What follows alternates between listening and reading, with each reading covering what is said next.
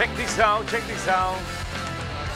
Señoras y señores, ya estamos listos y preparados para presentarles en otro domingo más su programa preferido. Esto es Mucha Noche. El de Colón le dice Domingos con mucha noche, bienvenidos a una edición más de El Programa. Qué gusto poder acompañarles el día de hoy. Una vez más nuestro productor se iba a caer, pero eso no importa. Nos va a permitir tener un, un, super programa el día de hoy. Y es que tenemos invitados a nuestros amigos de Patas y Pies para comprender un poquito esta ley, eh, la 281, los pros, los contras de las mismas y si ellos consideran de verdad que la raza de estos perros que están incluidas pues son o no peligrosos. Vamos a hablar esto más adelante y por otro lado, en cuanto a música se trata, Aurelio Tamayo está con nosotros para hablar su más reciente canción. Ahora, la gente de Privanco, ¿cómo trabaja? Buenas Acá, como siempre, la gente de Privanco contenta y emocionada para compartir ya el último día de la semana porque se sabe que nosotros trabajamos del... Bien. ¿Cómo? Bien. Pero contento, contento y para compartir ya este domingo. Eh, la verdad que tenemos cosas interesantes que vienen ya desde mañana, la próxima semana, porque la gente se está acercando, paparazzi. Se está acercando a lo que son la veda electoral se alza la veda y la gente está, están las imprentas haciendo billetes desde ya, mandando cotizaciones, te bajo aquí, no te importa, te hago, ah, eso es una locura. Ya están todos en la gatera hablando al estilo hípico, la gatera la, la todo esto, ya todos traen sus carriles, banderola roja.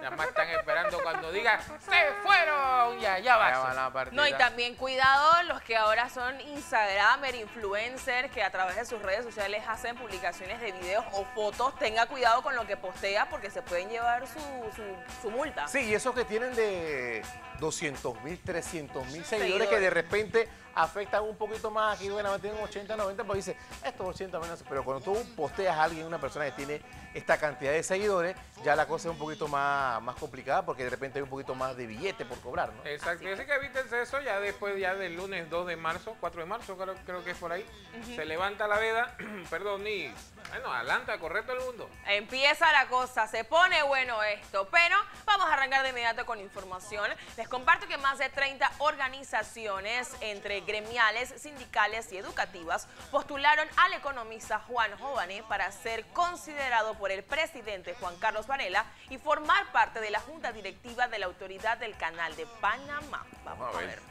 Más de 30 organizaciones entre gremiales, sindicales y educativas postularon al economista Juan Jované para que sea considerado por el presidente Juan Carlos Varela como miembro de la Junta Directiva de la Autoridad del Canal de Panamá. A juicio de Rogelio Valenzuela, decano de la Facultad de Economía de la Universidad de Panamá, en la directiva de la ACP se necesita a una persona que represente al pueblo. Observamos las directrices que se dan dentro de los cánones administrativos públicos y privados inclusive las conjunciones de intereses para los efectos de los mismos.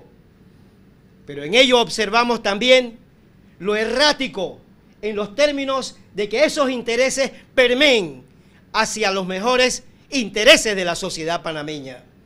Jované, quien también es coordinador general del Movimiento de Refundación Nacional, cuestionó lo que se hace con los ingresos de la vía interoceánica el gobierno, lo que pasa con el canal y el gobierno de Panamá, y lo que pasa con el canal adentro del canal, adentro del ACP. Bueno, mire, el año pasado, el año pasado, y ahí viene el primer problema, lo que le entregó, o lo que se le entregó como producto de la actividad del canal de Panamá al gobierno central fueron 1.600 millones. 1.600 millones de balboas. Y entonces uno se empieza a hacer preguntas. ¿verdad? Hagamos una comparación. Aquí están los compañeros, educadores. ¿Cómo es que el Estado panameño con estos ingresos no puede cumplir con la ley que dice que hay que darle a la educación el 6%? El gobierno no pasa de 4% y debe dar vergüenza porque aquí al lado, en Costa Rica, sin tener canal, aportan el 7% de su Producto Interno Bruto a la educación. La Comisión de Credenciales de la Asamblea Nacional tiene 11 ratificaciones pendientes de designaciones hechas por el órgano ejecutivo, entre ellas la de Isabel de Sainmalo, Jorge González y Emanuel González Revilla como miembros de la Junta Directiva de la Autoridad del Canal de Panamá. Vamos a cambiar de tema, porque durante la semana les comentamos que se presentaron los recursos de recusación contra dos de los tres jueces seleccionados para conformar el Tribunal de Juicio contra el expresidente Ricardo Martinelli, en tanto que se informó que el juez Roberto Tejera se declaró impedido. Recordemos. Fuentes judiciales informaron que abogados querellantes presentaron la mañana de este jueves en la segunda oficina judicial un recurso de recusación contra el juez Roberto Tejera. También fue recusado el juez Raúl Vergara. Tejera y Vergara fueron dos de los tres jueces seleccionados mediante un sorteo público para conformar el tribunal de juicio en el proceso de supuestos pinchazos contra Ricardo Martinelli. Los abogados de la ingeniera Balbina Herrera recusaron a Roberto Tejera y los abogados del periodista Rubén Polanco recusaron a Raúl Vergara. ¿Qué? ¿Cómo? Actuando como magistrado suplente del segundo tribunal, él dictó una sentencia condenatoria en mi contra hace unos años. Entonces, dada esta situación, eh, es evidente que hay un conflicto más que todo legal marcado entre él y mi persona. Entonces, yo creo que no es conveniente que él actúe como juez de juicio en este proceso, siendo yo eh, querellante de este caso de los pinchazos. El magistrado de la Corte Suprema de Justicia, José Abel Amengor, explicó cómo serán resueltas las acciones legales presentadas por los querellantes para que dos de los tres jueces no conformen el tribunal de juicio contra el exmandatario. Entonces en estos casos eh, las relaciones de trabajo, las relaciones de subordinación eh, laboral eh, entre las partes, los hechos de que haya existido pues previamente un conocimiento de la causa o que de alguna manera existe una enemistad manifiesta o amistad con las partes, son situaciones que pudiesen llevar al juez a pedir que se le separe del caso. Ese es el impedimento. Ok. En los casos de que el juez no se separe del caso y las partes, ya sean los abogados o la parte, eh, o la parte querellante, conozca de alguna situación que pudiese afectar el resultado del proceso, tendrían que invocar eh, la recusación, eh, la recusación en el caso concreto eh, sería eh, ante el propio juez y eh, posteriormente de, mantenerse la decisión resolvería el Tribunal Superior de Apelaciones. Okay. Una fuente judicial informó que la tarde del miércoles el juez Roberto Tejera presentó un escrito en donde se declara impedido para conocer el proceso contra el exmandatario Ricardo Martinelli. Arlín Caballero, el magistrado de la Sala Segunda de lo Penal, José Ayuprado, aclara al público en general que la juez Arlín Caballero nunca se desempeñó en su despacho, del cual es titular desde enero de 2013, ni como secretaria ni como asistente, y no fue él quien la propuso ante el Pleno como juez de juicio. La juez Arlín Caballero fue designada por el Pleno de la Corte Suprema de Justicia por unanimidad como juez de juicio del primer circuito judicial. Recomendada por el magistrado Abel Augusto Zamorano, la defensa de Ricardo Martinelli informó que en horas de la tarde de este jueves se presentará un recurso de recusación en contra de la juez Arlín Caballero. Paparazzi Cash, lo mejor en esta ocasión sería meter nuevamente la mano ahí en la bolsita y sacar tres nombres más. Y así se, eh, creo que las cosas, la solución sería mejor. Sería el problema es mucha incomodidad también. Exacto, el problema es que no nos pasemos recusándonos a todo el mundo porque este trabajó con este despacho y ahí se va a formar lo que no se quiere es como esa cercanía quizás, o, que pueda pasar algo a futuro, pero estos tres nombres, pues ya hay un juez que dijo, señor, no, gracias, eh, no, gracias, pero no. Así que hay que ver, si se quedan estos dos y agregan una persona más que se saque dentro del de, sorteo que se hizo, o si son tres los nuevos que salen. Sobre este tema, Madre buscó la reacción de Luis Eduardo Camacho, hijo. Vamos a ver qué le dijo.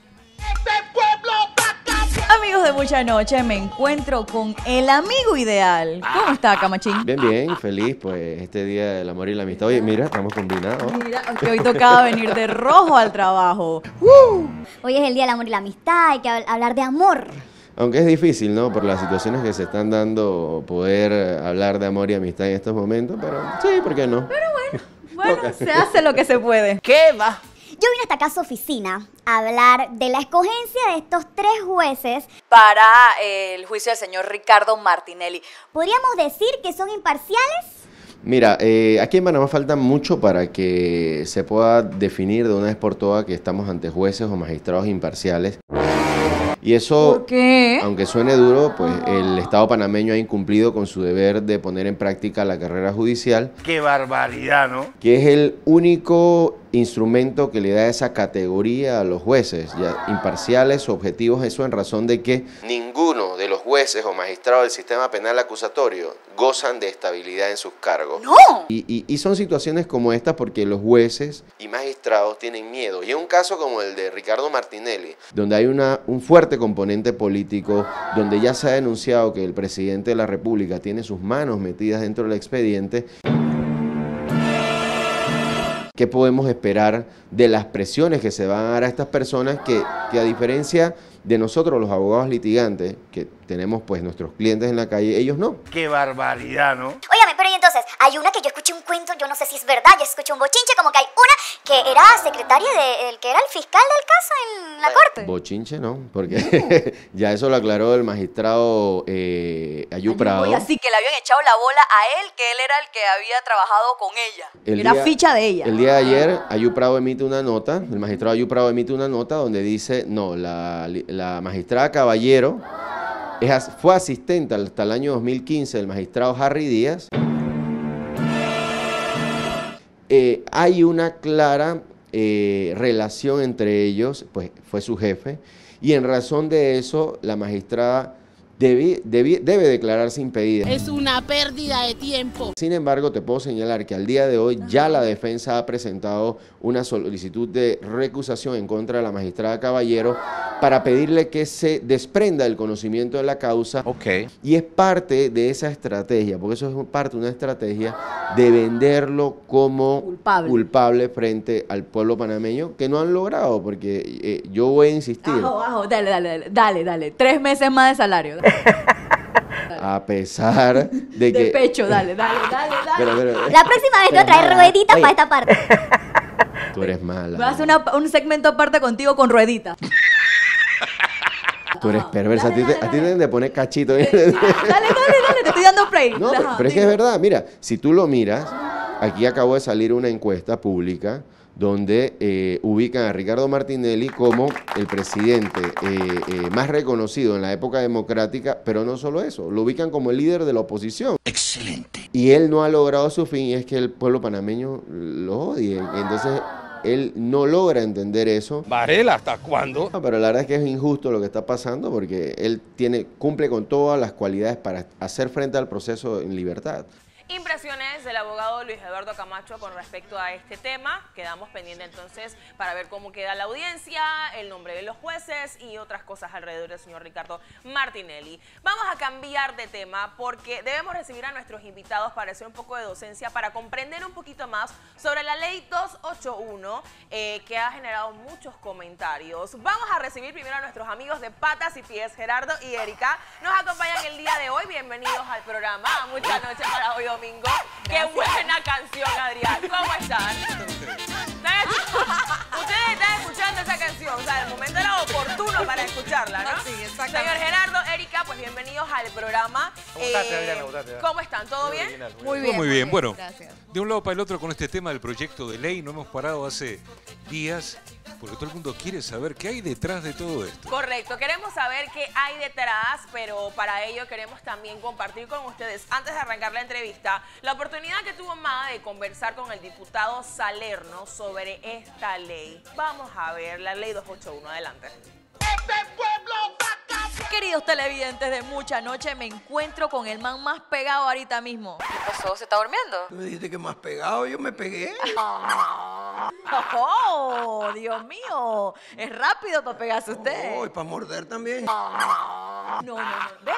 Eso es lo que pasa. Por eso que lo están poniendo así como el cazador de perros. Como el que persigue a los perros, el, el odiador de los canes. ¿Cómo más le tienen? Yo no sé, eh, que me pongan... Puros despectivos respecto a los perros.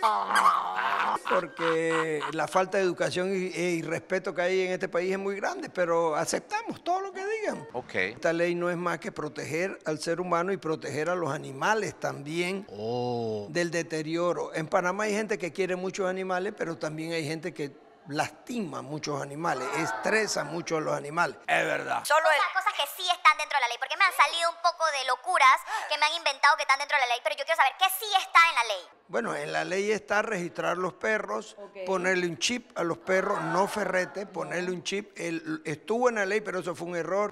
Ya no se ha etiquetado los perros, se ha dicho simplemente mandíbula fuerte, cuerpo fuerte, agarrado, perro eh, de carácter fuerte. Como los mismos expertos en perros, especialistas en perros, lo han estado solicitando. Yo no sé de dónde ni dónde están los famosos seguros de perros.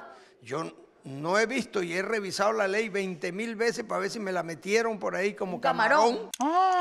Hasta la fecha no lo he visto. Es más, otra cosa importante, esta es una ley que está en una subcomisión y se- esta ley se entregó el 7 de octubre del 2015 y lo están haciendo los expertos, los especialistas en perros. Ni siquiera estamos nosotros, eh, ni Patacón ni yo. La otra cosa, en ningún lado habla de matar perros. El artículo 5 lo que dice es que cuando hay problema, lo que sea de los perros, haya tenido o tiene, el expediente se cierra con su muerte. O sea, cuando el perro muere, se cierra el expediente. No, déjese de eso. Óigame, entonces, no es el seguro, no hay seguro. Se, se habló en la subcomisión, una de las personas comentó que podía ser una buena idea el tema del seguro, pero no está dentro de la ley. Usted está en lo cierto. Comentó. Porque al final, cuando usted tiene un carro, le asegura para daños a terceros. A lo mejor si tiene un perro, un poco de carácter fuerte, se le sale por razón o usted lo lleva paseando y muerde a alguien, el seguro le podía cubrir. Pero eso no está en la ley. Ok. Ha salido todo el mundo a decir que no, que más peligrosos son los diputados. O sea, es una cosa que, que se ha agarrado eso- para golpear a los Es diputados. Que eso te demuestra exactamente que es un movimiento político. El famoso grupo de Movín, que ellos tienen que ver su historial de ellos mismos. ¿Qué? ¿Cómo? Eh, Los que tienen bloqueo con los medicamentos, quienes están metidos en eso, y son los que más hablan y representan a Movín. Y verdaderamente el problema no está en asamblea, está en un grupo de la Movín. Inclusive hay que averiguar de dónde reciben dinero para tantos movimientos. Ok, ya vimos esto, don Gerardo, Erika y amigos televidentes Privanco, para comprender un poquito de lo que incluye la ley. Ahora, hablando con ustedes que son conocedores en la materia en cuanto a perros se trata, dentro de lo que está la ley, ellos tienen como una categoría de 14 eh, perros o razas que podrían estar incluidas como potencialmente peligrosos. Iniciemos por conocer, ¿podrían ser peligrosos estos perros de verdad, como se dice ahí? Yo creo que es importante la palabra potencialmente. ¿Qué quiere decir esto?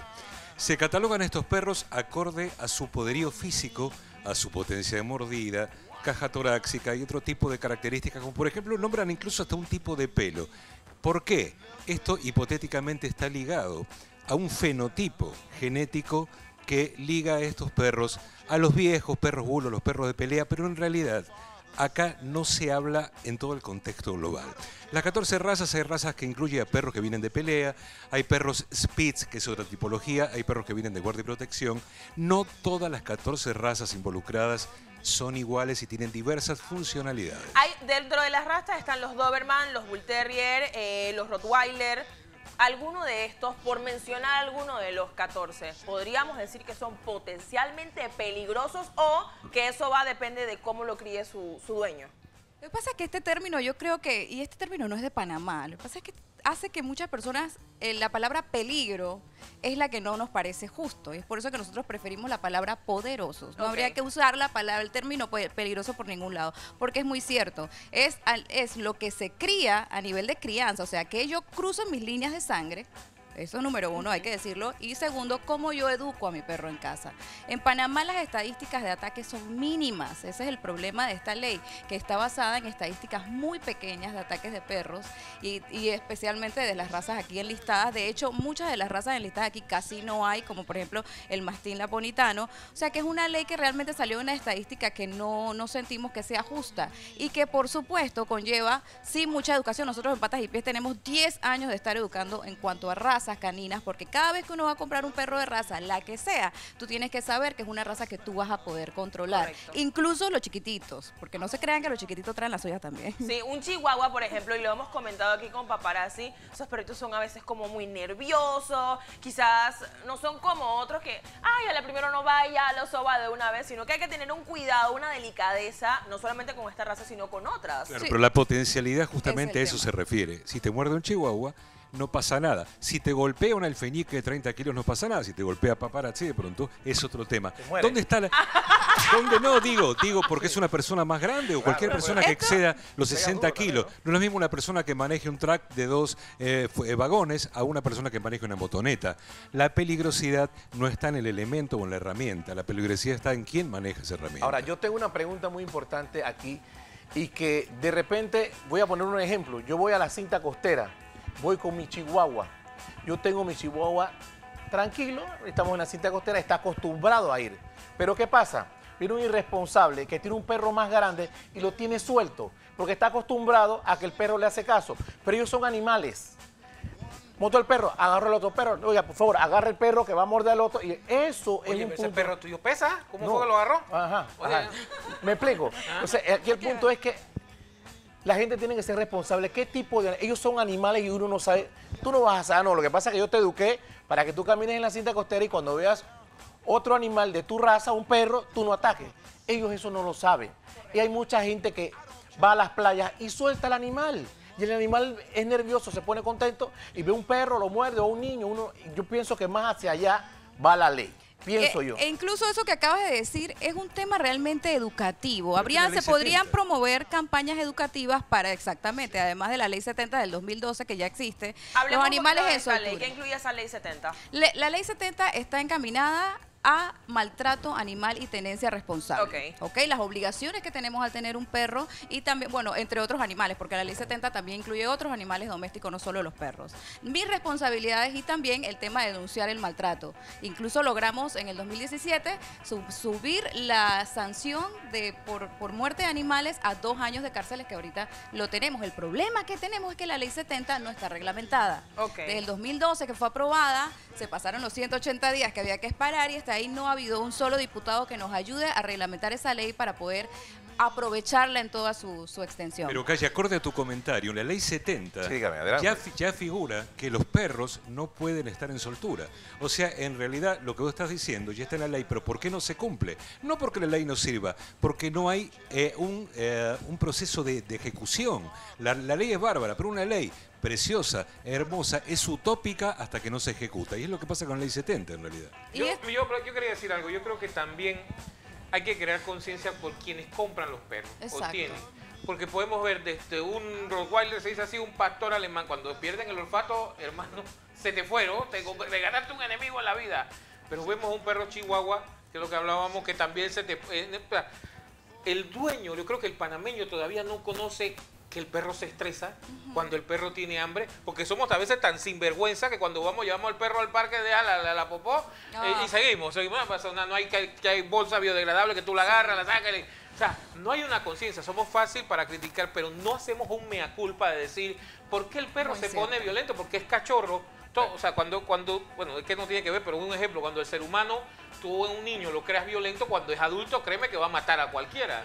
Entonces, ¿qué sucede? Si nosotros como cachorros, no, no, a nuestros cachorros no le enseñamos a, a- a- a que no muerdan los sillones, a que se sepan comportar. Lo educas. cua- Ajá, lo educas. O sea, es como un niño igual. Exacto. Pero entonces nosotros los panameños, ah, que esta ley, oye, la, la- la- lo que usted habló la anterior, oye, aquí yo he visto en la barriada donde yo vivo que hasta los perros los amarran con hilo de nylon.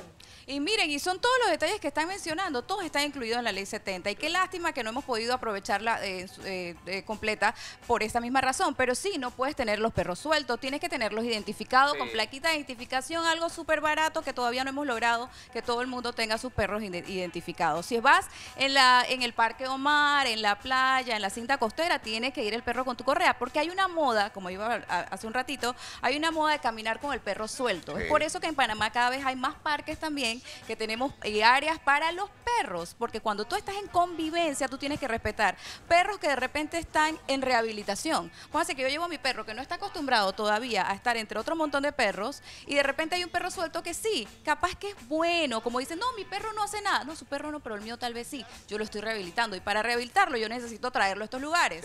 Yo necesito que la gente alrededor no se acerque a mi perro. Yo a veces, Entonces, siempre, perdón, yo siempre he dicho, yo no quiero caer en la estadística, primera vez que el perro muerde. Yo no sé qué le pasó. El perro estaba ahí y dije, no, vamos a llamar al médico, pero él, él nunca hace eso. Primera vez que lo mordió. O sea, hay también uno, por eso lo digo, como es un amigo mío que es médico. Ey, al final son animales. Siempre hay una primera vez. Al final son animales. O hay personas que no gustan de los animales claro, hay que respetar exacto. también a las personas que no. Ahora, hablando un poquito más de, de esta ley 281, ¿podríamos rescatar, señor Gerardo, algo positivo de la ley?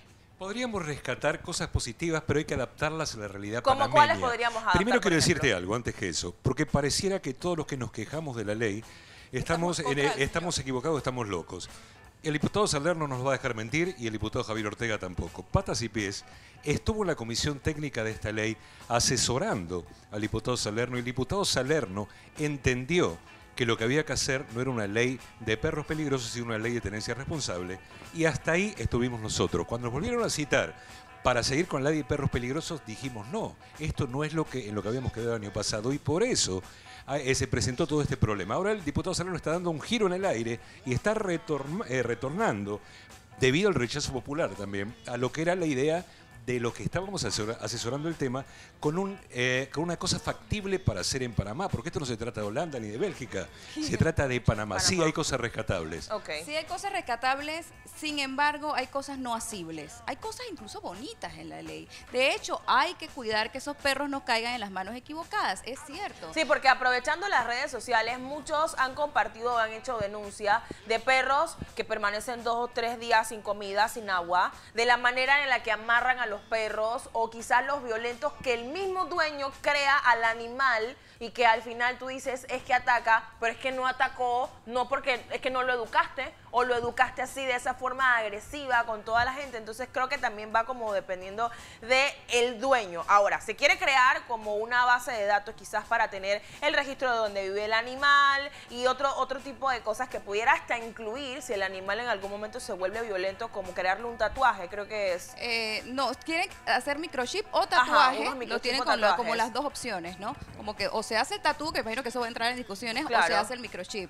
Pero lo que acabas de decir, todo lo que dijiste está en la ley 70. Lo tengas amarrado, el largo de la cadena, el agua, la protegido sobre la intemperie, que no, no, el animal nunca se vuelva agresivo. Todo está incluido en la 70. No tenemos que rehacer la, la rueda. Lo que sí es que esta ley no debería ser discriminatoria. Si ustedes leen incluso la presentación inicial, remarcan al American Pitbull y ahí inmediatamente, por supuesto, la gente que sí hace buenos pitbulls, ahí por supuesto se sienten ofendidas, pero ¿por qué yo tengo que usar bozal? Si voy al parque a tirarle la pelota a mi pitbull, que es súper social, que es divino, que es incluso perro nana de muchos niños, y yo ahora tengo que cada vez que salgo de la cerca de mi casa le tengo que poner un bozal hasta que regreso a mi casa. Olvídese el ¿Usted frisbee, tiene un pitbull? olvídese de la pit- del... ¿Usted tiene un Ten- pit- hemos, hemos rescatado, por cierto, ¿Usted ha rescatado varios pitbull? pitbulls. No, yo crié, yo soy juez especialista desde hace muchos años y mis primeros perros de este tipo los tuve a los 16 años, hace algunos añitos. Ha tocado. Mira, cuatro de la lista. Sí, unos 5 o 6 años. Eh, Akita Inu, que figura en la lista, tuve. Eh, American, eh, Staffordshire Bull Terrier, no American, Staffordshire Bull Terrier, tuve. Doberman, tuve. Bull Terrier, fui presidente de Cruel Bull Terrier por muchísimos años en Argentina. O sea, conocemos, y Erika lo mismo, conocemos de lo que estamos No, ve hablando. que tiene experiencia con Lo vimos en carne propia. Esto no es que hicimos un copy-paste, no es una opinión pasional, es una opinión desde el conocimiento y no tenemos nada ni contra el diputado Salerno, ni menos un tinte político de nada, porque a veces ni sabemos de qué partido es la Si usted ni gente. vota. O sea, lo, lo que Yo sí, yo soy de acá. Ahora, yo lo que digo es que más de animales peligrosos, yo creo que debe llamarse dueños peligrosos. Correcto, y deberíamos hacer leyes que protejan al humano, pero también a los perros, no discriminatorias.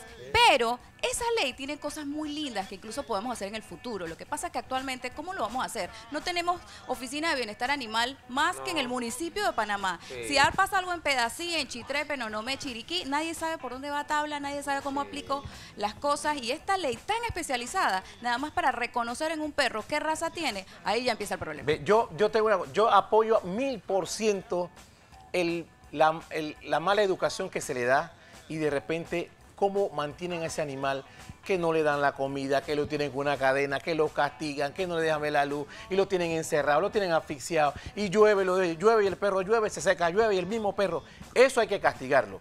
Pero yo también he visto en el Parque Omar que hay señoras así, ¿qué pasó? No, que el señor vino con un perro esto y está tirando una pelota, el perro brinca y ahí nadie puede jugar. Tómele una foto a la señora y tómele una foto al perro y mándelo a, donde nos dice la ley tal que eso no se puede hacer y lo muere una multa y ya no lo puede hacer más. Eso también hay que castigarlo. Porque los perros, los perros no entienden, o sea que mira, muchachos, esos, esos perritos, esos son unos, ah, esto, unos niños él. El perro tú se la tires para allá y por mala suerte agarra por donde están los niños, él va a seguir, tumbó los niños. Va, para allá. Correcto, está Esas son cosas que pueden pasar. Si hablamos dentro de la ley, eh, modificaciones que ustedes crean que podemos hacer, hablando puntualmente, ¿qué cosas podrían modificarse o arreglarse para que la ley no sea tan problemática? Porque así lo han puesto con todos los comentarios, ha creado muchísima polémica dentro de la gente, no rescatando quizás las cosas positivas, sino hablando todo en 100% al negativo. ¿Qué cambios se le podrían hacer a la ley? Yo lo primero quería es borrar todas esas razas, no hacerla discriminatoria. Yo creo que todo lo que hay que aplicar hay que aplicarlo absolutamente todos los perros. Si yo necesito registro de perro, yo necesito registro de todos los, perros. Y nosotros soñamos con una ley de crianza para el futuro, a pesar de que sabemos que nuestra realidad actual no se va a poder poner en, órbita, por lo menos ahorita, si lo vemos al final del túnel, ahí la vemos venir. Pero sí regular un poco la crianza. ¿La crianza qué significa? Yo soy criador de perros, yo me tengo que certificar como un criador de perros. Yo sé lo que estoy haciendo. No criar más de dos razas caninas. Certificarme, registrarme. Cada vez que yo tengo una camada, yo voy a registrar esa camada. Luego de registrar esa camada, yo también tengo que hacer los transfers. Cuando tú me vas a, tú te vas a llevar uno de mis perritos, yo hago el transfer a esa persona y ya creas un registro de todos los criadores y de, todas, las razas. Correcto. Otra de, los cambios o modificaciones que pudiéramos hacerle a esta ley. Yo quiero, eh, se nos va a acabar el tiempo y quiero aclarar lo que es importante. Más allá de las modificaciones, creo que Erika ya dijo lo, fundamental. La diputada Zulay Rodríguez está proponiendo otra ley. Más allá si está bien, está mal, no voy a poner en tela de juicio eso. Ya tenemos la ley 70 que no está funcionando en su esplendor porque no está reglamentada. Ahora el diputado Salerno, más allá si es bueno o malo el contenido, no voy a poner tampoco en tela de juicio porque apunta hacia otra cosa. Él termina de hacer su ley y se desentiende de la ejecución de la ley. Qué buena o qué mala la ley. Viene el diputado Solay Rodríguez, hace otra ley que tampoco eh, después se sabe quién la va a ejecutar y son cosas que eh, son inasibles aunque suene muy lindo. Entonces, pretendemos que se reglamente la ley 70. La ley 70 es maravillosa y muchas de las cosas que el diputado Salerno se está, incluso se está eh, quejando o está sugiriendo, ya está en la ley 70 en realidad. O sea, primero empecemos por el principio reglamentemos la ley 70 y después si falta algo vemos cómo seguimos. Pero esto de acumular ley sobre ley sobre ley no le encontramos mucho sentido en realidad. Sí, que si ya tienen una que no la ejecuta, entonces estamos trabajando Porque ¿cómo hace usted? Porque se ve que el tema se va como calentando, se, va, se le va transformando la cara y todo sí. eso. Sí, entonces ya va. ¿Qué, sale? ¿Qué es lo que ya me va a ladrar? Eso es así, eso es. Eh, bueno, Aquí tuvimos a, a, la familia. Me va a morder el señor. Ahí nos balanceamos. Ah, ok, ya, ya te tenía que meter su cuidado. Cálmate, cálmate. Échate, échate. esto esto puede pasar, pero creo que para usted como conocedor ah, pues, de, los perros, obviamente causa un tipo, cierta incomodidad porque usted sabe que es convivir con distintas razas y lo que pueden o no pueden hacer y lo que el ser humano es capaz de crear en esas mascotas también. Por eso también creo que crea la incomodidad quizás y la molestia. Como la frase que tanto se repite por ahí, ¿cuál es? No es el perro, es la persona. Pero es verdad, en algún momento tenemos que ver la forma también de lograr que estos perros víctimas, porque un perro no sabe qué es bueno y qué es malo. El perro le enseñan y eso para mi esto es, esto es. Él no puede discernir. Entonces, ¿cómo hacemos para lograr que esos perros no lleguen a esas manos que son negativas para él? Esta ley parece querer eh, contar que tiene una solución al respecto, pero en realidad no está haciendo nada para, para filtrar quién queda con esos perros. Y de hecho aquí en Panamá hay peleas de perros. ya prohibidas por la ley 70. Y esos perros no los ves. Nunca los, vas a ver. clandestina. Exacto. Siempre son escondidos. Para ustedes como patas y pies, eh, si tuvieron ese acercamiento con el diputado Salerno, quizás alguna sugerencia o cosas que pudieran incluirse. ¿Han vuelto a conversar con él? ¿Han tenido algún acercamiento? Después del año pasado, no, se, lo comentamos a sus secretarios, a la persona que nos llamó. Nuestra sugerencia, diputado Salerno, si usted quiere realmente hacer las cosas en pos del país, número uno. Y número dos, en pos de los perros, ayudando a los perros y a la gente, ayúdenos a reglamentar la ley 70. Lo mismo la diputada Zulay Rodríguez. Y a partir de allí después vemos lo que hacemos. Como usted dijo en una oportunidad, esta ley, como ustedes la presentan, va a llevar mucho tiempo y yo no tengo problema. Vamos a hacer una ley como se debe, aunque nos lleve el tiempo que nos lleve. Esto la verdad, palabra la de verdad Salerno. mi posición, yo no haría más Ahora, ley ¿usted puede dar una hasta que no se... Pueden dar una sugerencia también de que se enseñe a los niños en la escuela las diferentes Ay, razas. eso sería lindo, sería muy lindo. conozcan. De hecho, cuando eh, vean al Señor no se asusten, o sea, ya me entiendes, o sea, que entonces que, que ellos vayan conociendo, porque yo mi hijo rescató un perro, que ya lo tenía una perrita en la casa, que nos, es trilingüe porque te ladra, te menta la madre, o sea, es una belleza de, de perra porque cuida. Pero los niños no conocen mucho cómo jugar porque hay veces que tienen las uñitas largas, aruñas, o sea, sería bueno que ustedes algún día, si pueden estar ya más cercanos que nosotros, pudieran explicarles, decirles, ¿sabes qué? Que metan también en un plan de educación Hacer para porque docencia. las, mo- las mascotas son parte ya de la familia. como en España, que ya se puso en acción esto, dentro de la escuela incluso primaria, van a hacer también el tema de esa sensibilidad que nuestra cultura tanto necesita. Por supuesto que sí. De hecho, Anótelo también ahí, a nivel, a nivel provincial, si tuviéramos oficinas de bienestar animal donde se empieza a hacer la plataforma para que soñemos con cosas mucho más preciosas y llegar a ese soñado Holanda que todo el mundo comparta, seamos como Holanda o Holanda. Holanda se cometió errores y nosotros con esta ley podemos estar cometiendo los errores que Ah, sí. Holanda ya rectificó. Entonces, Son errores que al final pues pueden irse modificando, Claro pero creo que que, lo sí. importante es Aprender o terminar de, de- de ya trabajar con la ley 70 y no avanzar con la 281 o entonces hacer algún cambio para los nombres o los términos que se utilizan y para no eh, encerrarlos como que solo estas 14 razas, sino para todas las razas después de los perros que se puedan incluir. Les agradecemos que nos acompañen el día de hoy. Ustedes saben ya Un que el tiempo pues apremia, ¿Pata y pie pero sí. Sábados 10 y media de la mañana y también estamos los jueves en Ají, y bueno, y siempre con el corazón abierto para que programa de animaleros, ¿no? programa de animales hecho, Hecho por animaleros. animaleros. Ahora Eso. sí. Les agradecemos el espacio. Espero que hayan comprendido mejor esta ley 281. Vamos a hacer la primera pausa. Ya regresamos con más. Eso. Ya Vamos a cambio comercial, señores. Hoy domingo le estamos pasando bien y gracias a Dios estamos abriendo un poco El baile esa perrito, explicación del baile, baile del perrito, el baile. El baile del perrito, todos quieren bailar.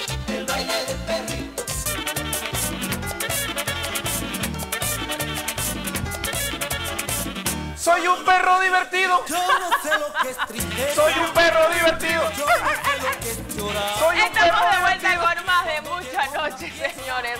Hay más para compartir. Vamos de inmediato con ello y vamos por acá con el César Marquito. Gracias. Los nombramientos de funcionarios del gobierno en la autoridad del Canal de Panamá han provocado diferencias entre los diputados. Vamos a ver. Vamos a ver, alcalde. La diputada del PRD, Zulay Rodríguez, arremetió nuevamente contra la decisión del Consejo de Gabinete en designar a Isabel San Malo, Emanuel González Revilla y Jorge González en la Junta Directiva de la Autoridad del Canal de Panamá. Los tres son malos.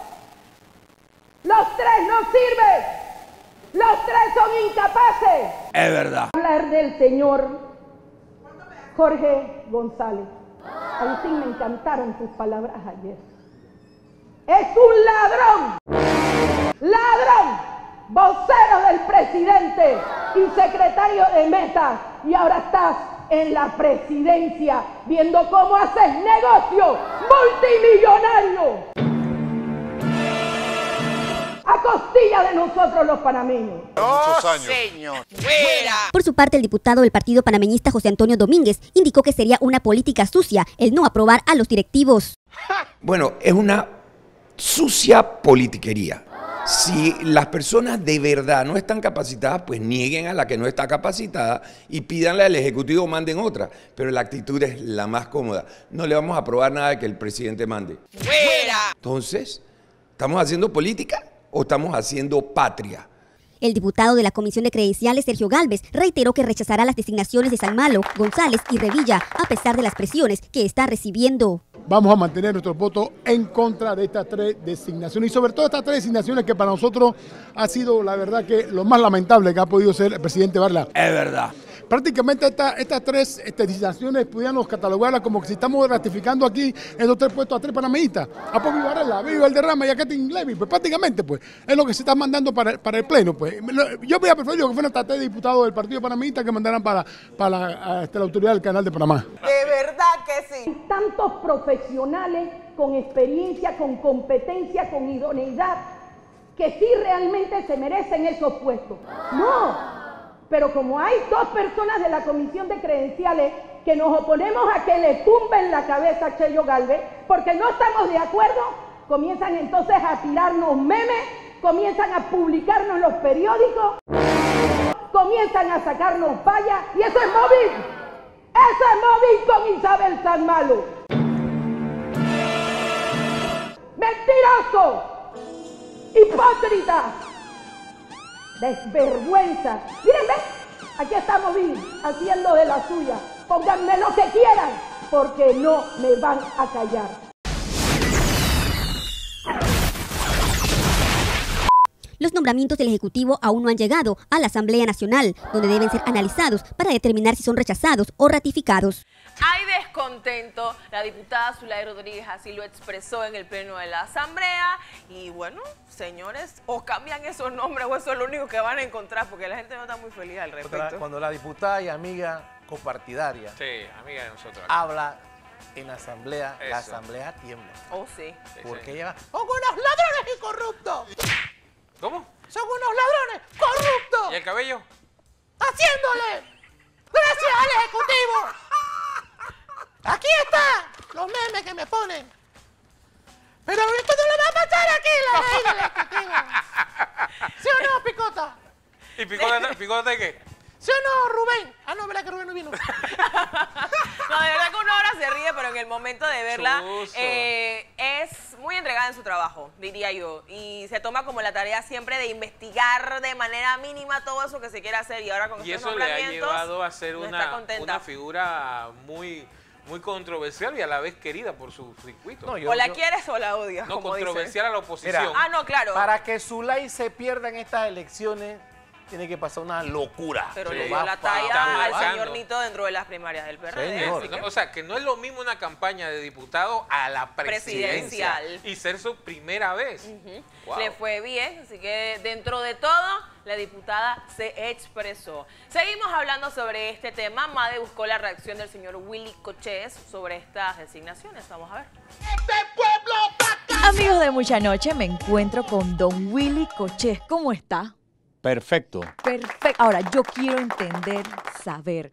¿Usted es Nostradamus? ¿Usted viaja al futuro y regresa? ¿Qué? ¿Cómo hace para saber información antes de tiempo? Dígame, ¿tiene una bolita mágica, algo? En, en Palacio se filtran las cosas. ¿Usted conoce las garzas por allá? Yo creo que las garzas me pasan alguna información de vez en cuando. Eh, pero eh, no solamente fue con los tres directivos del canal que los dije, me se molestaron. Y le pregunté a uno de ellos, eh, ¿y es verdad o es verdad? No sé. ¿Cómo que no sabía? Pero bravo, así. Bravo. que yo ¿Cómo tú te vas a estar poniendo a decir nombres? Sí, sí, tú me estás atacando. ¿Atacando de qué? Yo simplemente mencioné nombres.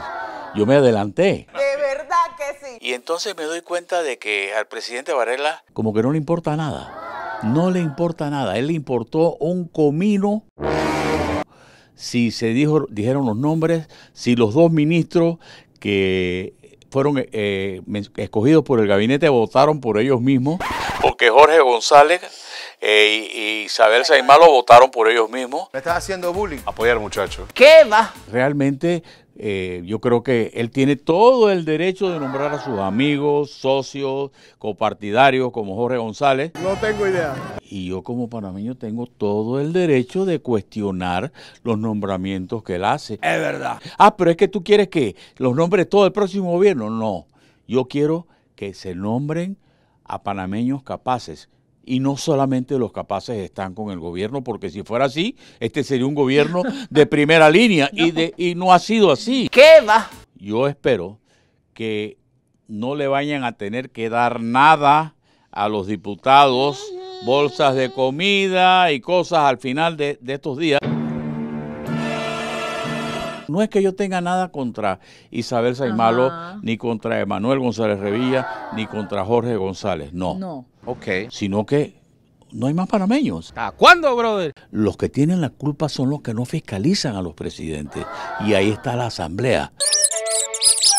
Por eso, sin hacerme propaganda, es que yo creo que debemos haber diputados que como yo estoy denunciando esto y lo voy a denunciar ahora, lo voy a denunciar después. Excelente. Varela nombró, como le corresponde de acuerdo a la Constitución, un ministro de Asuntos del Canal, que es Roberto Roy. Ok. Teniendo ya un ministro nombrado por él, tenía que nombrar a un miembro de la Junta Directiva a un ministro asesor de él como Francisco Sierra. Partida de corruptos. Es verdad. Bueno, pues vamos a esperar que la asamblea entonces Vamos a esperar que la Asamblea haga lo correcto. haga lo correcto para variar. Para variar, exactamente. Lo que tiene que pasar es que cambien los nombres porque la gente no está de acuerdo. El señor Willy pues decía que puede que estén preparados o puede que no estén preparados, Sí. pero la cercanía que tienen con el gobierno actual, partido, etcétera, es lo que ha creado el Y descontento. tienen que verse en el espejo de la figura de Catín Vázquez. O sea, tú, ok, es una figura que trabajó en el gobierno de Martín, pero ¿quién, quién le puede decir algo a ese señor que, que la gente diga que, bueno, es que este man falló en tal lado? O sea, sea, su trabajo habla por ahí. Cuando presentaron el viernes el currículo que el man había hecho, nada más le faltó manejar. El canal. Diablo Rojo, nada más le faltó manejar. Oye, porque tiene una experiencia que, que, wow. Entonces, si tú vas a poner una figura, de, está bien de tu partido, pues, pero poner la gente que más mejor preparada. Pero te voy a decir una cosa, ¿cómo tú vas a poner gente del partido que está dentro del gobierno? Exactamente. Eso es lo que incomoda a la gente. Entonces, ¿dónde están los 300 mil panameños que pertenecen Los a esa panameñistas, los panameñistas que están dentro de tu partido, tú no puedes ser que tú no puedes coger tres para O sea, la no hay directiva. más nadie preparado, lo solo mismo. esos tres. O sea, agarra para la vicepresidenta, lo- el otro lo agarra para el ministro de no sé qué yo y, y yo también, renunciado. y también para la junta directiva. Yo no sé, yo hubiera sido panameñista, escribí una nota o algo así. Ven acá. brother, acá estamos nosotros también. Ah, yo me voy o algo así. ¿no? Pero en caso tal también eso, obviamente, siento yo o creo que eso se consulta eh, del presidente a las personas, bueno, me parece que puedo postular a paparazzi para que esté dentro No, de la y junta. la respuesta cuál yo es que como yo me siento honrado, yo digo, yo en mi criterio, como paparazzi diría, la verdad es que yo estoy contento con el puesto que estoy desempeñando y no quiero estar dentro de allá. Porque tú estás claro que vas a crear polémica. Ahora, yo pienso que lo que el presidente de la República hizo fue que lo, lo, lo- lo- ¿cómo se llama? Lo felicita y lo, lo apremiaron. Pilla, esto tú te lo mereces porque Sí. tú has y tú también, así que Yo te dije son- que no fueras a la política en este Van a pasar cosas aquí, se me acaba de nuevo esto, van a pasar cosas aquí, lo que sea, pero ustedes van para dentro de la directiva, de la Junta Directiva, no sé si van, Sí. pero van a ser nombrados obviamente por el Ah, Ejecutivo. pero adivina, eso está difícil Está de que difícil, la bro. comisión de credenciales te lo apruebe. No, y aparte de que el, el Ejecutivo con la Contraloría están di que apretando a los, a los diputados y eso no va, Vamos ¿no? a ver. Eso Bueno, no. a- al señor presidente, la, nuestra sugerencia es de que busque otros tres nombres muy eh, bueno. y cambien, porque de verdad creo que hay gente capacitada para que ocupe esos puestos Hay gente muy preparada. eh, y que probablemente pues no estén dentro de estos tres que han creado mucha polémica al respecto. Vamos ahora a ver y a recordar lo que Paparazzi conversó con el nuevo director de aduanas, el señor Leo González. Mira, es un man preparado también. Estamos con el director de aduanas, don Leo González. Voy a decir porque yo lo conozco como Leo González.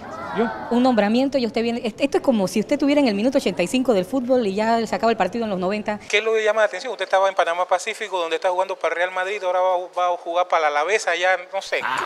¿Qué, qué es lo que lo llevó a usted a tomar esta decisión? Que eso está revuelto allá. No, la verdad que, la verdad que bueno, primero lo de Don me metiste como 20 años más, pero, pero no, sí, definitivamente no, y, y yo creo que parte de, de la decisión que se toma de, de asumir la dirección de aduanas está muy relacionado con la experiencia que se tuvo sin tumbarme las cosas. estando cuatro años y medio en Panamá Pacífico, eh, lo cual nos da un, un punto de partida importante. La realidad es que llegas a una entidad, una entidad complicada, una entidad compleja, tanto, a- a- tanto interno, una entidad que tiene muchísimos funcionarios y funcionarios de diferentes características, pero así lo asumimos como un reto eh, tras la renuncia del anterior director y una entidad que pues lógicamente no podía estar en acefalía. ¿Qué podemos esperar de llegar a usted, un hombre sencillo, con tranquilidad? Con esos dolores de cabeza, don Leo, ¿para qué se va a meter en eso? ¿Qué puede esperar la gente? Sheila todavía no le han pagado el bono.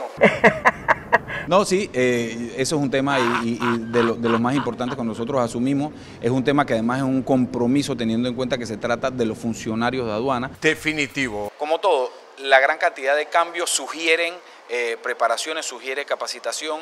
Pero la realidad es que hoy en día la integración que tiene la, Autoridad Nacional de Aduana, no solo a nivel de otras instituciones o de seguridad o relacionadas con el, con el tema aduanero indirectamente, también estamos integrados a nivel de la región.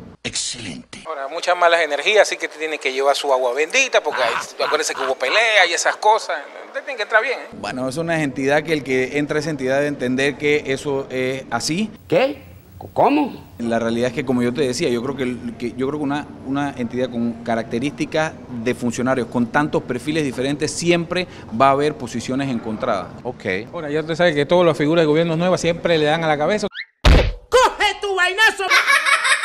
Tiene que estar listo para las glosas, que el candidato, que no sé qué, está preparado para eso.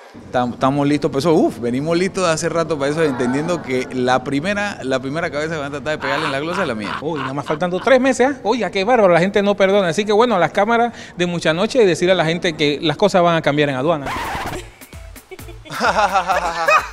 ¿Qué va? No, muchas gracias, muchas gracias por esta oportunidad y definitivamente ya hemos venido trabajando fuertemente en eso.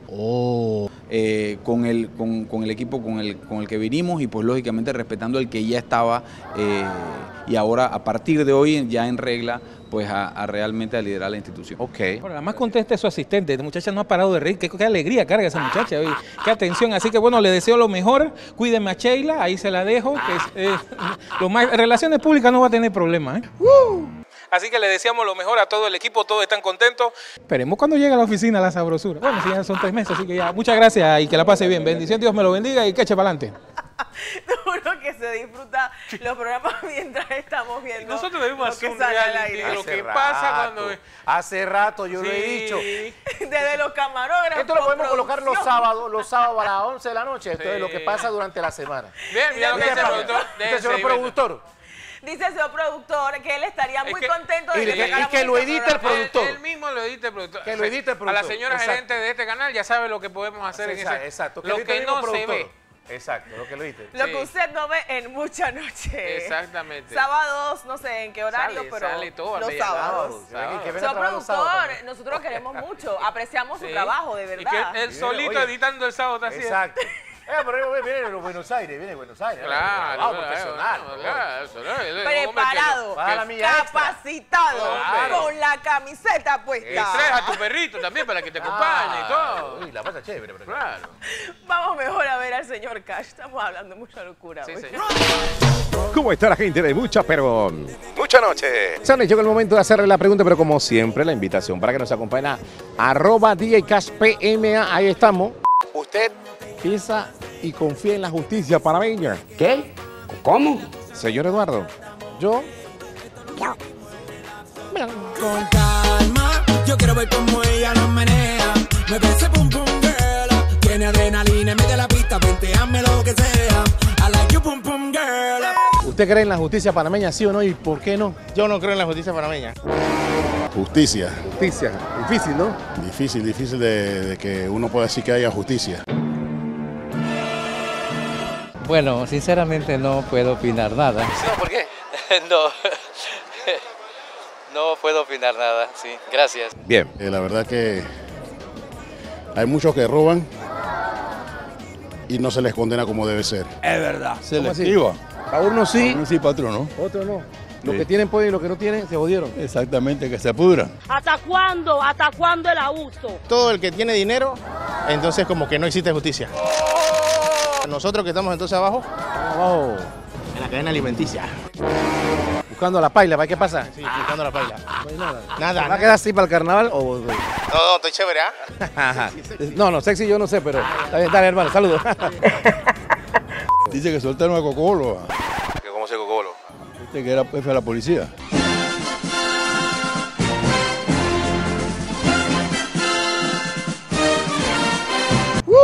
Después de cinco años, ¿ah? Sí. Pero yo he visto que han cogido un poquitón de rateros y va gente por ahí con, con armas y esas cuestiones y, y le han dado calle. Qué barbaridad, ¿no? O le han dado una, una Una medida...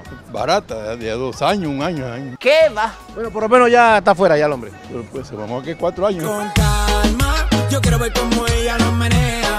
Me ese pum pum girl. Tiene adrenalina en medio de la pista, venteame lo que sea. I like you pum pum girl. Sí, habla español, habla español. Where you from? Panamá. Entonces, ¿habla español o no habla español? Claro que sí. Porque estoy hablando como... Ah, ¿de qué parte de Canadá? De Montreal. Últimamente en Vancouver. Vancouver. Y, y, y dos Panamá figuras Montreal. En el carnaval ayer en Panamá to this boxing and counter Roberto Durán.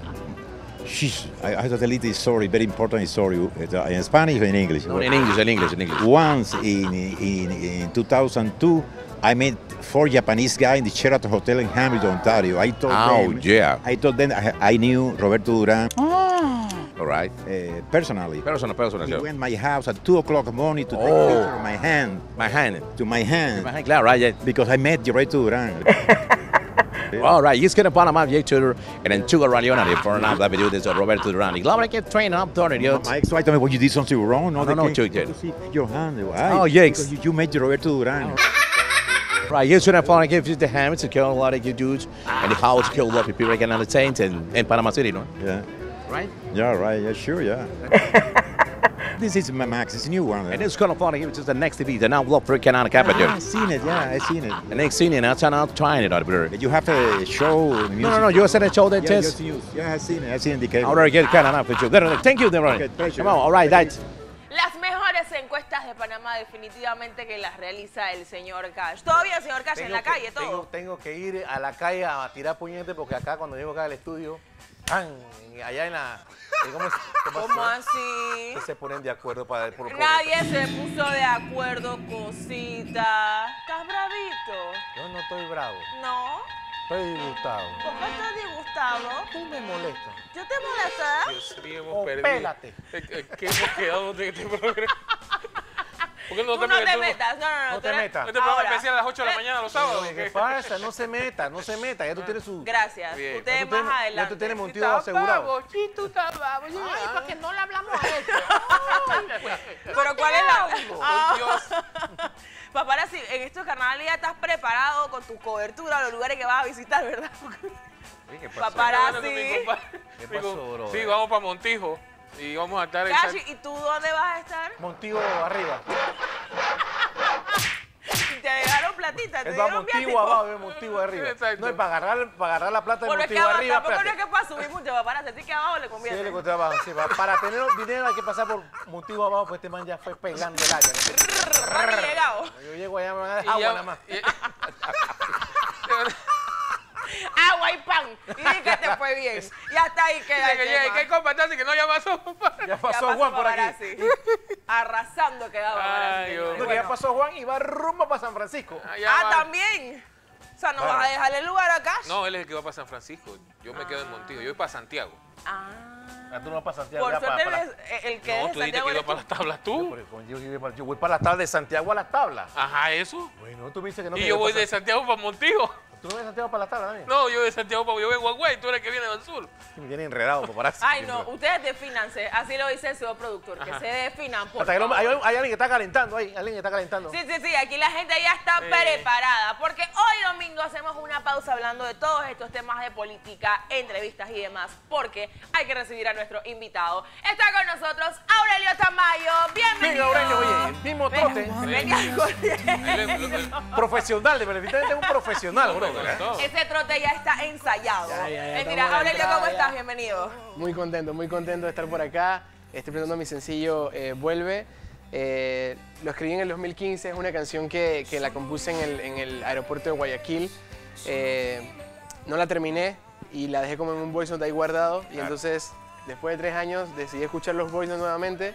Me di cuenta que estaba esa canción y decidí terminarla. Tuve la, la valentía porque realmente componer una canción de tristeza en un momento de felicidad es bastante Ustedes le difícil. escriben a los amores viejos. No hace un día Esa- que- esa que, canción- Ay, esta una vez, déjame borrarla. No, no le ha pasado eso. Dije, te, te quiero solo a ti, aunque venga otra, pero te quiero solo a ti. Y ya tenía que borrarla. Porque...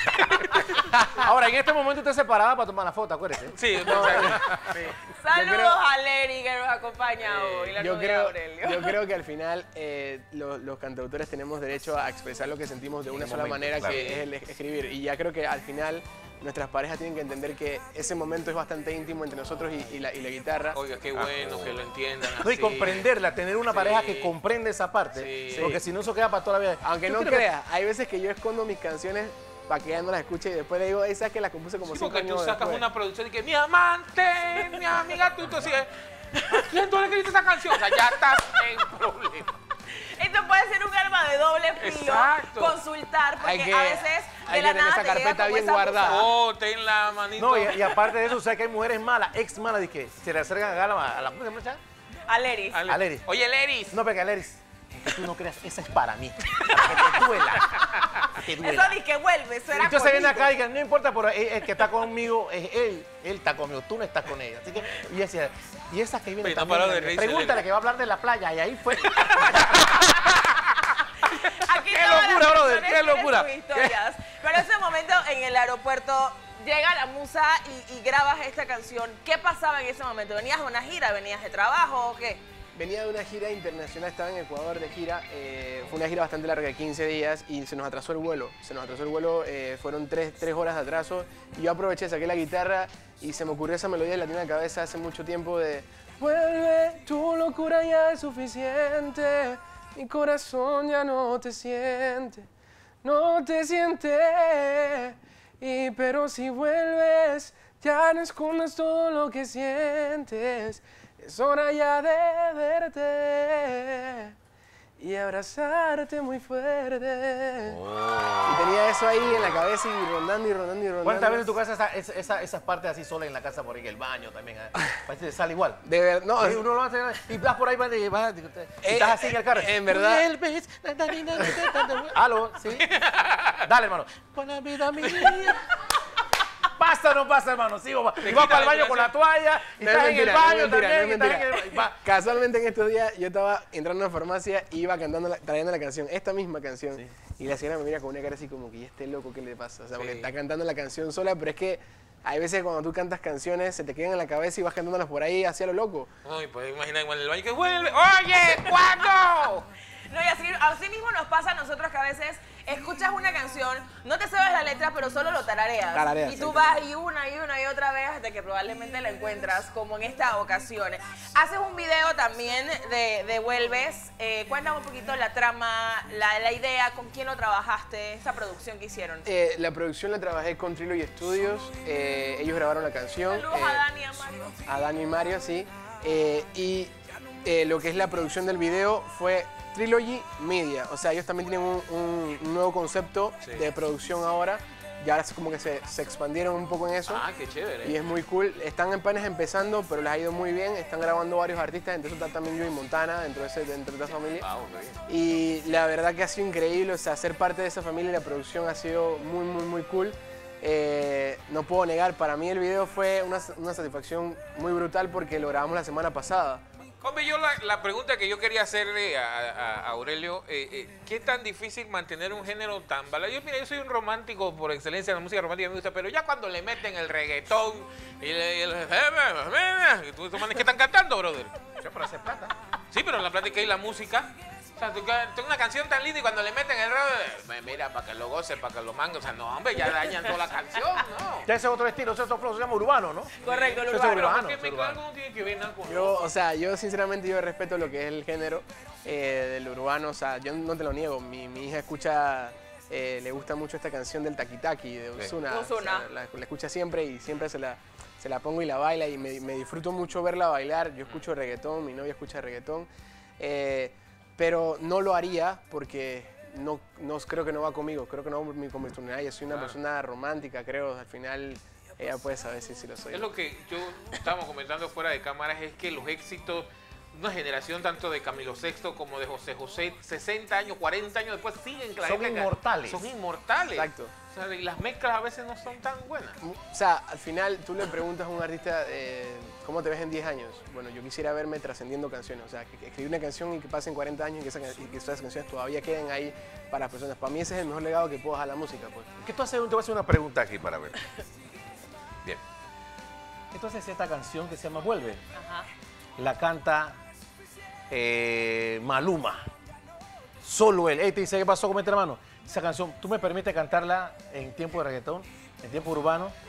Y la canción viene boom, boom, boom, vuelve, se fue, vuelve y se vas. ¿Tú qué haces? Te digo la verdad. Ajá, se lo permite. ¿Tú, qué, tú ¿Cómo te sientes tú? Te digo la verdad. Sí, sí, por la verdad. más que sea Maluma y con todo el respeto que se merece, creo que me la quedo yo. Eso, esa es la actitud. Me la quedo yo porque al final es mi canción. No, no que permitiría que otra Son mis sentimientos, son, es, es- es una canción propia. Me gustaría entonces después mejor hacer una canción de, con él, pero que entonces que él se meta a lo que es lo mío. Que no no- no le permitiría Por ejemplo, me hablaste de Maluma y Maluma canta muy bien. O sea, si, no sé si han escuchado a Maluma cantar eh, sin cantar reggaetón, él canta muy bien. Entonces, él se podría meter muy bien en la balada sin problema, sin problema. Él tiene dentro de su álbum una canción que se llama Marinero, que es una balada dentro Sí. de su álbum Y él cantó con Y es Mar muy Anthony buena. en vivo y yo lo vi y wow, increíble. O sea, el tipo canta muy bien. Entonces, eh, Y que incluso con hay artistas, hay artistas que, que cantan muy bien. Hay artistas que, que, por ejemplo, Rey, que ahora está de nuevo con, ahora está con el reggaetón, que para mí siempre fueron mi banda de chiquito también.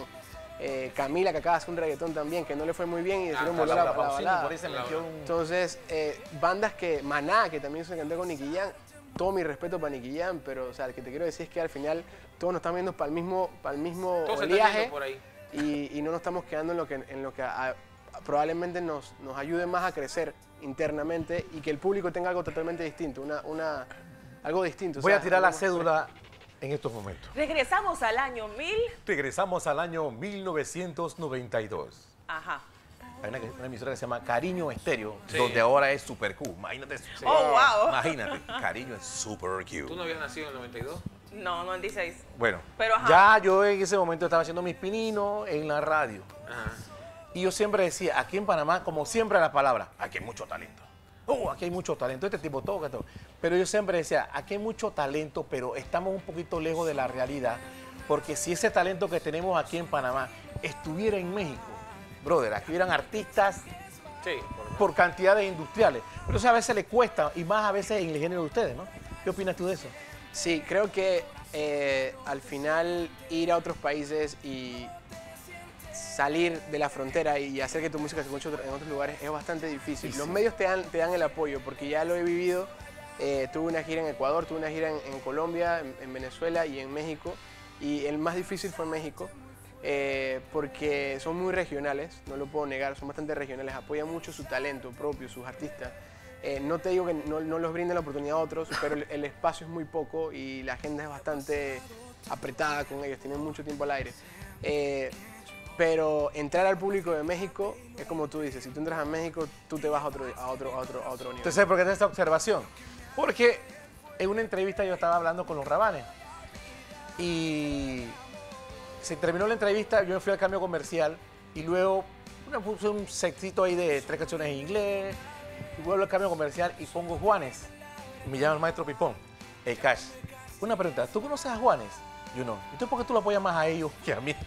Apoya el talento nacional. Nacional. O sea, él siempre me dice, aquí la gente viene una canción, ejemplo, viene los 33 pesos tiempo que estaban, son miserables, y de repente, sí, pero vamos a poner genitálica, sí, pero vamos a poner, y hay que dar la prioridad a lo de nosotros, y todas las estaciones de radio tienen que hacerlo, tenemos que sentirnos obligados, la gente que está en la radio a veces no lo hace, que bueno, agarran, ah, ¿cómo tú tienes los frontales? Ponlo ahí para cumplir, ¿Sabes? y tú lo ves, vuelve la gente con los internacionales. En Ecuador hay una ley, cuando fuimos, me acuerdo, eh, de gira, eh, hay una ley donde en la radio tienes que sonar, tú tienes que sonar por obligación. Si suenas un arte internacional, tienes que sonar dos artistas inter- dos buena, qué nacionales buena ley. seguidos. Qué buena ley. seguidos. Eso Entonces, debería pasar también. Sería Claro una, que sí. sería una No, ley. Eso no va a pasar aquí en Panamá porque que la cámara de la radio no sé qué lo están violando la libertad de expresión y la. Mira, Pero es una manera, es Claro. una manera de apoyar tu talento. O sea, al Eso. final el talento de la música es como el talento del arte, como la fotografía, como todo lo demás. Y eso, eso ayuda mucho al turismo Que eso de la fotografía también se le da a Aurelio. Ahí tampoco le quiere dejar comer a nadie, ¿oyó? No o sea, puede ser, también. ta- también Oye, dale, Las fotos. Oye. Puede ser. Ustedes tienen que ver las fotos a Aurelio, señores. ¿Pero dónde por lo buscamos, favor. Aurelio? ¿Dónde te Aurelio, podemos seguir? Aurelio, ¿cómo te metes tú en este género tan romántico cuando en Panamá nada más creo que hay una sola emisora de música romántica? Hay varias.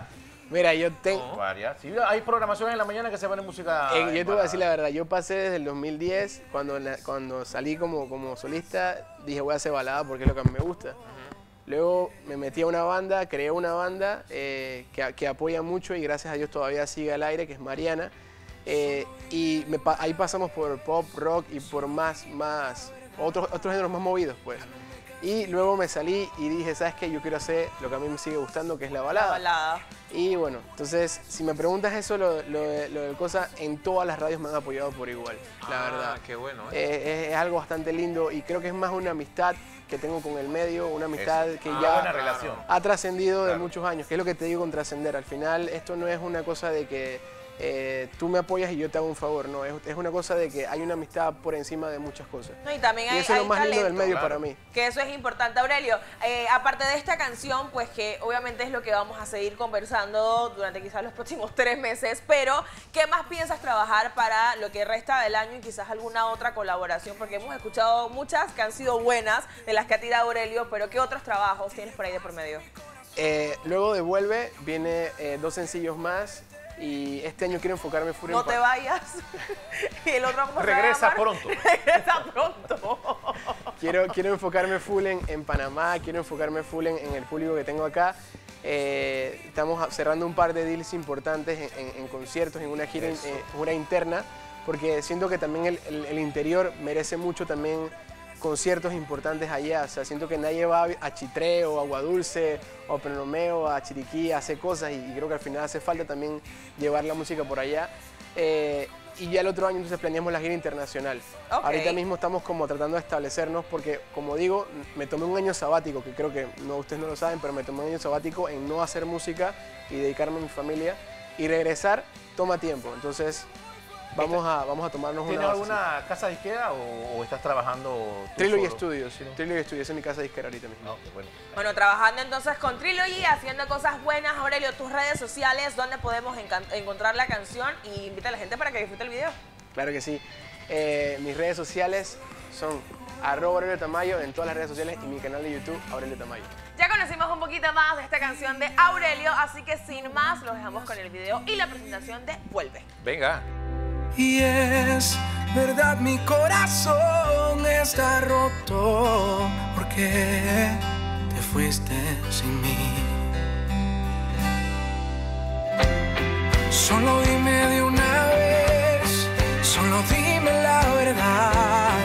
Ya no me castigues más. Vuelve, tu locura ya es suficiente. Mi corazón ya no te siente no te siente. Y pero si vuelves, ya no escondas todo lo que sientes. Es hora ya de verte y abrazarte muy fuerte. Y abrazarte muy fuerte. Y ha pasado tanto tiempo, siento que yo, por más que trate y lo intento, te llevaste mi corazón. Y aunque me haga el fuerte, nunca voy a olvidarte,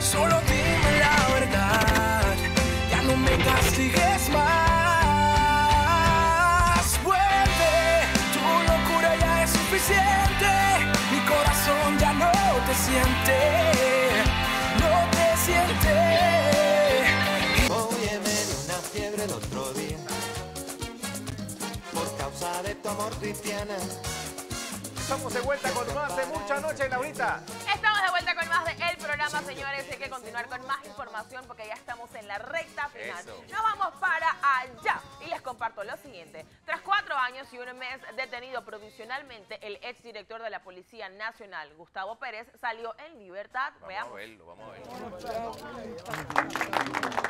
Este martes 12 de febrero, el segundo Tribunal de Justicia concedió fianza de escarcelación al exdirector de la Policía Nacional, Gustavo Pérez, en el caso de supuesta pérdida de equipo de escuchas. Amén, en nombre de Cristo Jesús. Este era el único de los cuatro procesos en donde se mantenía la orden de detención preventiva.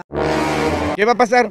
Lo que va a pasar ahora mismo es que tengo que estar con mi familia, quiero estar con la gente que me quiere y que me apoya. Y lo que va a pasar ahora es darle importancia a la familia. Excelente. Usted sabe que pasamos muchos páramos, cuatro años y un mes. Imagínense eso, en la gran joya, en seguridad extrema, comiendo del suelo. Hay muchas cosas que han pasado. El exdirector de la Policía Nacional, Gustavo Pérez, demostró sus condiciones físicas al salir de la cárcel El Renacer. El mensaje mío esto. Una, borrón, y vamos para adelante. un par de pechadas, señor Gustavo Pérez, para recordar esos tiempos. Estas 10 pechadas son especialmente para toda esa tropa y policía que ha estado ahí y que no lo dejan, no lo dejan. Hay que echar para adelante. Y estas 10 pechadas son por todo eso. Vamos, comandante. Dos, tres, cuatro, cinco, seis, siete, ocho, Una más Gustavo Pérez junto a Alejandro Garús han sido los únicos exfuncionarios que han sido recluidos en la cárcel La Nueva Joya. ¿Qué va? Detenidos a los privados de libertad, el trato inhumano a sus familias. Esto para mí es algo importante. Muy importante. Y en seguridad, que siempre lo he dicho, hay que, para tener 100% de seguridad, tenemos que tener un 33% en las instituciones, 33% law enforcement, que es la policía, y un 33% familia. Y la familia, aquí pudimos ver esto. Estoy tan agradecido y me siento tan contento de que mi mamá se ha mantenido fuerte y mi mamá ha sido una persona vital para mí. Familiares y amigos como el ex campeón mundial de boxeo Roberto Durán estuvieron en la salida de la cárcel El Renacer. La verdad es que no puedo decir sentimientos porque son tantos encontrados. Es algo muy duro. Cuatro años y un mes esperando este día. Pero bueno, hoy respiro libertad, porque la madre somos madres. con este señor que ha sido un tremendo amigo, un tremendo hermano, y lo quiero mucho y lo respeto porque siempre donde nos hemos visto, igual que el señor que está aquí, siempre me ha saludado. Excelente. Con todos los rancos que tenía antes. No lo tiene ahora, lo tiene mejor rango que antes. Y comprendió que el amor y la fe a los amigos es más grande que todas las cosas. A Gustavo Pérez se le siguen cuatro procesos penales. Escuchas telefónicas. Fue condenado a cuatro años y dos meses. La condena no está en firme. Se presentó un recurso de apelación. Posesión ilegal de armas. Fue condenado a cinco años y cuatro meses. La condena no está en firme. Se presentó un recurso de casación. Peculado por la compra de equipo de escuchas telefónicas. Está pendiente de fijar fecha de audiencia. Pérdida de equipo para escuchas telefónicas. Está pendiente de fijar fecha de audiencia. En los cuatro procesos, Gustavo Pérez tiene medidas cautelares diferentes a la detención preventiva. Estamos, la fianza se, otorga dentro del caso del conocido como la pérdida. La fianza está fijada en 150 mil. 55. en condiciones y muy agradecido con todas las personas que durante estos cuatro años estuvieron presentes con él en todo momento, en especial pues a su madre, que con palabras muy bonitas agradecía pues ya respirar esa paz, esa tranquilidad eh, de que ya estaba pues fuera cuatro años y un mes. Para el show a mí lo que me parece la caminata fue Bolita Eli. Oye, Bolita Eli, pero, pero Saludos lo a logró, lo logró. ¿Tú crees? Lo logró. No, hombre, ese al medio Lo logró. kilómetro ya estaba cogiendo taxi. Dice que se montó en un carro en una Prado que iba atrás. ¿Qué compa? Monta este pelado. Lo alcanzó allá Acuérdate después. que él no es militar. Ajá. Él es un militante, pero de partido. Ok. Pues bueno, ya después, al finalizar los siete kilómetros, lo alcanzó. Las 10 pechadas. Eh, Completitas, señores. Vamos ahora a ver a Nilka y sus denuncias con Calderón. Ayúdame que tú sí puedes. Bueno, mi gente, me encuentro en San Miguelito, atrás de la gran estación. Tiene todos los movimientos calculados. ¿Qué sopa esto va con el Lidán? El man de Lidán se llama y que Julio algo, ¿ah? Julio de la iglesia, mira con todo tu respeto que te merece, hermano. Aquí, ve, detrás de la gran estación. Candy Crush.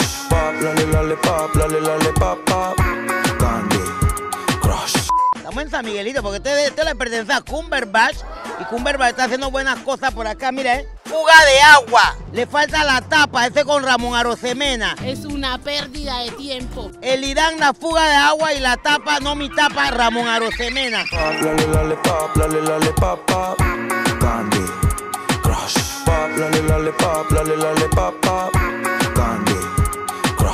Este es agua negra. Julio de la iglesia.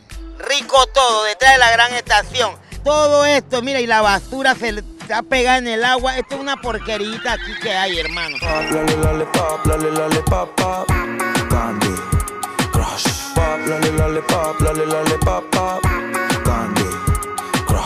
Al algo, manda a tu banda para decir manda y arreglan rico todo.